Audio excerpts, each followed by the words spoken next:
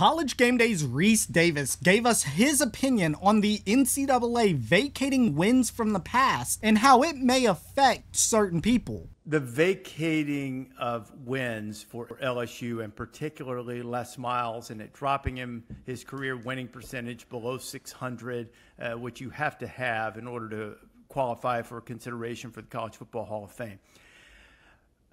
Vacating victories is the dumbest most uh, ineffectual punishment in the history of anything, especially when you do so to games that were played, you know, 8, 9, 10, 11 years ago. That is beyond stupid.